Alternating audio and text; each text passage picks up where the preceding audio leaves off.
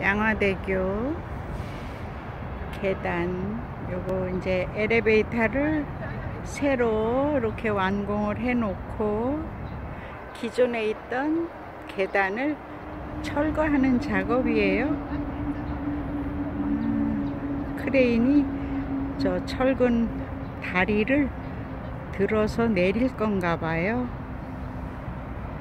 요새 대단한 공사입니다. 진 이렇게 설치를 했습니다.